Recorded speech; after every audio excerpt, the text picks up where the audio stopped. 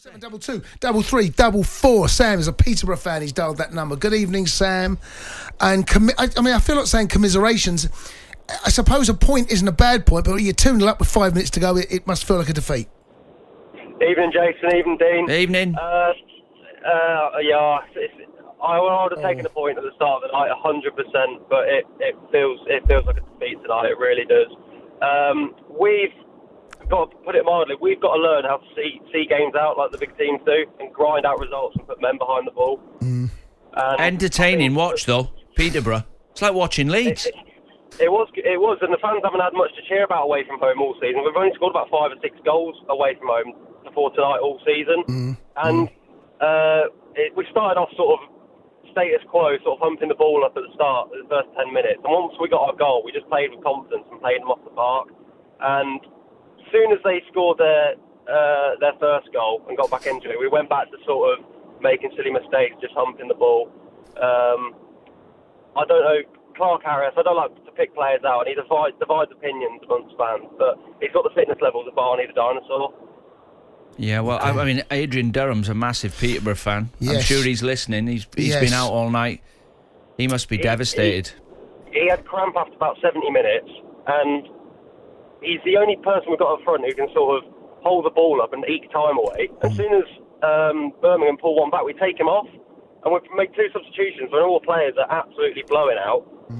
With six, with four minutes to go, it doesn't make any sense to me. And I think those, those sort of games, uh, regrettably say it, that's, that's where relegation sort of uh, won and lost. Yeah, that must that's a, a tough pill to take. That one, Sam, after you know travelling away. Well, a couple Go- of things happen, Sam. Like uh, at the end of games, it's been going on since the history of football. Late goals, uh, teams throw caution to the wind and just go for broke, and the team that are winning, obviously, game management and certain rules that you do in the last ten minutes of games that you wouldn't do in the in the other eighty minutes. Which, for example, you don't start playing football in front of your own goalposts with five minutes to go when you're winning. You don't throw the ball inside. Your strikers don't give fouls away because they just pump the ball into your box. So the players have to take a bit of responsibility as well because you should be seeing that game out. Yeah, hundred percent. We had a sit. Um, it was just before they got their first goal. Our our striker, a young lad, he just made it Davy Morton. He had the ball in sort of the final third.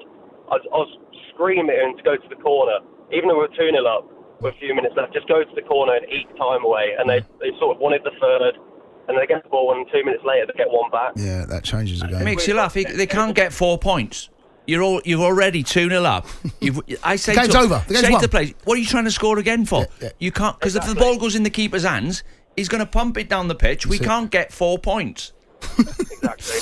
Sam, I don't know whether you've heard, but we're actually looking back over your uh, the club's history. That a moment that you would change, that you would you would alter with your hindsight wand in your hand, that you'd change, obviously for the better. You're not going to, you know, get your side relegated. What would you do, Sam? What what what, what most Peterborough fans look back and go, that's the moment I would change forever.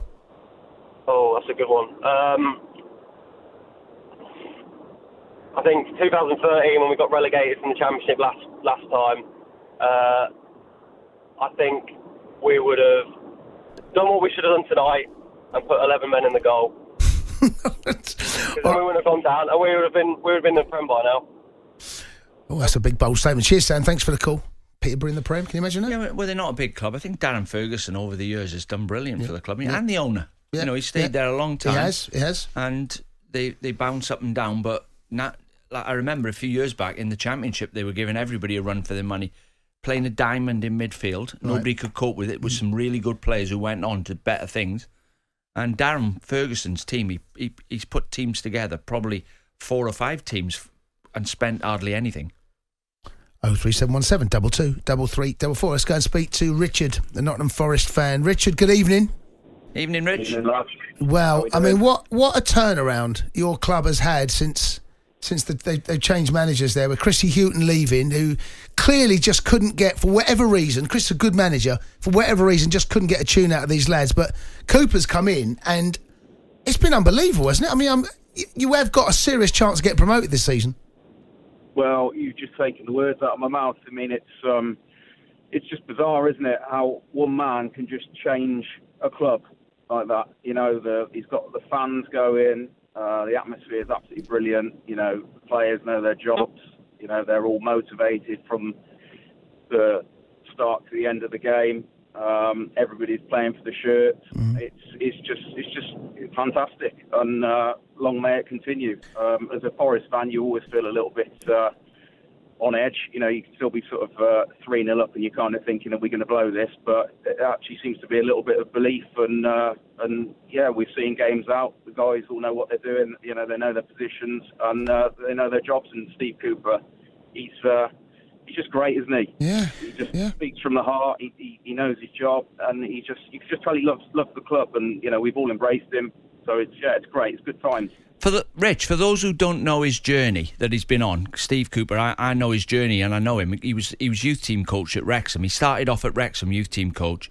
He got a job at Liverpool in the academy, done well with the academy, but he's always asking questions. So he'd ask Brendan Rodgers to watch the first team training and the Spanish coach who's now at with Pep at Man City Right. he was working with the under 23s and sort of the bit of the first team. So he learnt off him, learnt off Brendan.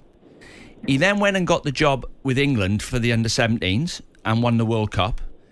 Also, he's learning off Gareth Southgate. He's going and watching Steve Holland and Gareth Southgate taking the first team training. He then gets recommended for the Swansea job by Brendan and Gareth Southgate. He does the Swansea job, does brilliant so with that well, group of he? Yeah, players, yeah.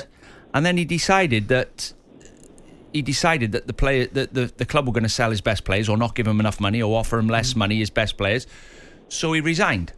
And luckily for Forest fans, He ends up there. he's at Forest Yeah, and and I think he'll either take Forest into the Premier League or he'll end up there himself, himself yeah. soon. Yeah, yeah, yeah. You're He's done great. You're very close, very close. Rich, listen, thanks for the call, bud. We're asking fans a question that what would you d- change in your club's history? Now, there must be a few as a Forest fan, right? But there's one that Richard can have if you were to change the, the, the path of history. What would it be?